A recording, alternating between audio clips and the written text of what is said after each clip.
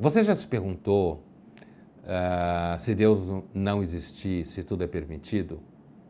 Aqui, tudo bem, você não precisa sacar do seu bolso alguma resposta inteligentinha, dizendo que, ah, não, eu sou ateu, mas mesmo assim eu acho que tudo bem. Não, a pergunta do Dostoiévski, que dobra tanta gente importante como Freud e outros, é a pergunta pelo, pela existência ou não de uma referência absoluta na moral.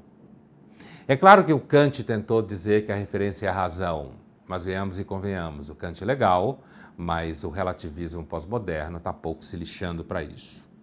O que o Dostoiévski estava se perguntando é, afinal de contas, se Deus não existir, se não existir nenhuma regra absoluta da moral, a gente não pode fazer o que quiser mesmo? No romance Irmãos Karamazov, o personagem Ivan Karamazov é justamente aquele que faz essa pergunta. O meu filósofo, como dizia Dostoiévski, o maior personagem que ele criou, como ele mesmo dizia, o personagem niilista por excelência, aquele que leva o problema moderno da falta de fundamento da moral até o fim. Se você não percebeu que a moral não tem nenhum fundamento, é porque você ainda não pensou a sério sobre o assunto.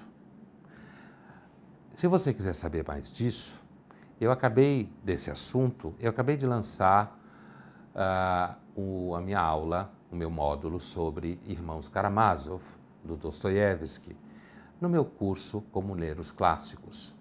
Acesse o site.